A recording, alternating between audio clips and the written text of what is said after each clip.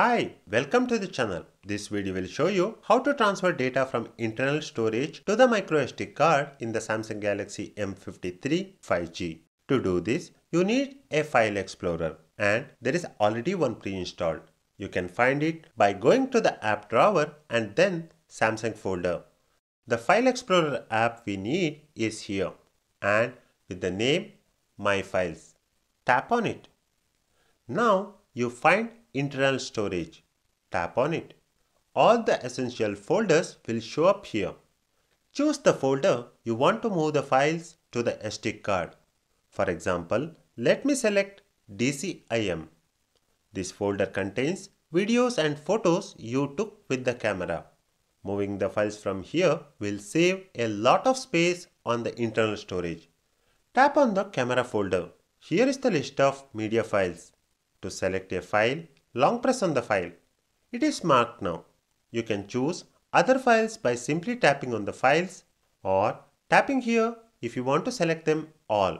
Now you get an option to move the files or copy them. To save internal storage space, tap on the move. Next, go back to the main view.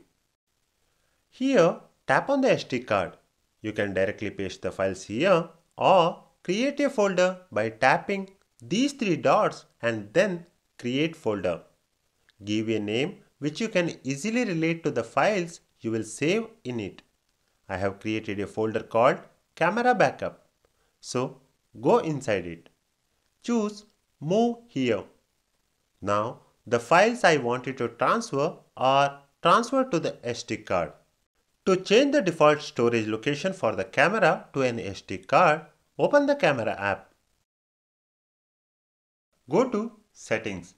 Here, scroll down to the point Storage Location. Select it. As you can see, currently internal storage is marked. Please change it to an SD card.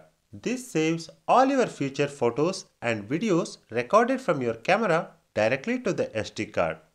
That's it for this video on transferring files from internal storage to an SD card. Thank you for watching this video. Please subscribe to the channel to get notified for future uploads. See you in my next video. Take care.